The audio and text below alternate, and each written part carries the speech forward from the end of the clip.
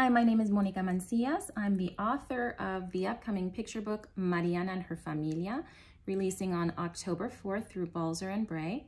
And this book is a picture book um, uh, illustrated by Erika Meza about a little girl who crosses the frontera, the border, for the very first time to go visit her extended family in Mexico. And everything feels strange and unfamiliar and new and she doesn't quite speak the language well enough to understand everything that everyone's saying.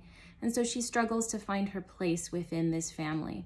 But uh, little by little and she has a very embarrassing moment when she accidentally calls her abuelita agualita agua meaning water um, and and sort of retreats within herself but eventually um, through reading stories with her abuelita and making food in the kitchen with her family.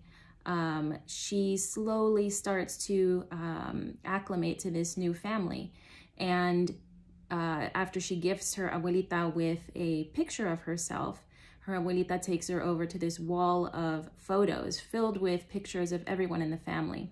And she notices a striking resemblance between herself as a baby and her abuelita as a baby and as she hangs that picture on the wall, realizes that she's actually always been part of the family, even if she didn't know it or feel that she was.